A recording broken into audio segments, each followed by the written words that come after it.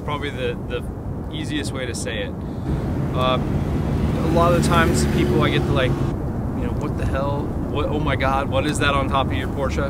The frunk is uh, quite cavernous. We can put a pretty good load of firewood in there if we need to. Uh, my wife likes to pack a lot of stuff, so uh, a big bag can go on the shelf in the back. The rear seats fold down.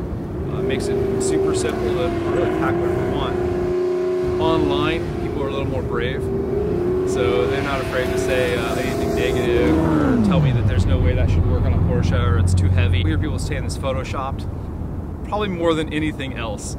Um, and then of course all the uh, the Porsche purists out there, they're they're not too comfortable with it. Uh, I would say there's some definitely some positive feedback that comes with it. Um, you know, you've got a lot of young people that are like, oh my God, that's like my dream glamping setup, car camping setup. Um, even back to some of the purists, I think the guys that really understand the Porsche brand know that these cars were designed to do everyday things, uh, but do it in a really fun way. And so you have the guys that are like, oh man, I'm so glad to see you driving that thing. I'm so glad to see it in the snow.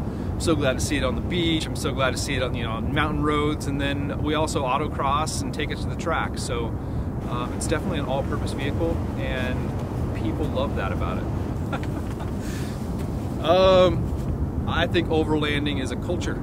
Um, you know, you see a lot of guys out there with Tacomas and all these other things that are just completely kitted out and I don't know if they've ever actually been off pavement.